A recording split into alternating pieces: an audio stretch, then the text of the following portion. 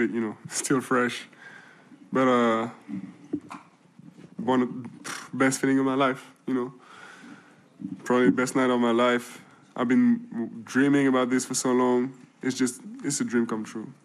It's incredible. Well, the Spurs have had a strong history with French players, including Tony Parker and Boris Diaw, both of whom won championships with the team. Fans hoping Wemby may restore the franchise to that former glory. Wassim Cornet reports.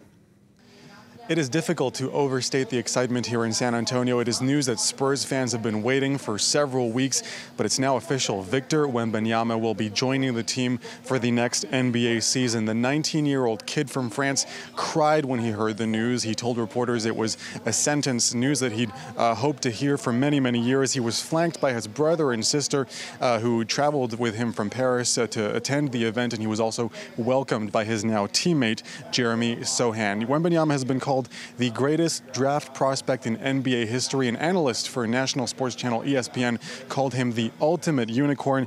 And so it is certainly an understatement to say that hopes are high for this 2 meter 20, 7 foot 3 inches player born southwest of Paris, the 19 year old growing up idolizing the Spurs and Tony Parker. He will now be joining this team and uh, walking in his footsteps. Speaking of Spurs fan, we spoke to some of them uh, just hours uh, before the draft. They told us they couldn't wait for Wemby to join the team to start a new chapter. Many of them telling us that they were now able to dream of potentially uh, winning another championship and adding another banner to the ones already proudly displayed on the wall behind me at the Spurs training facilities here in San Antonio.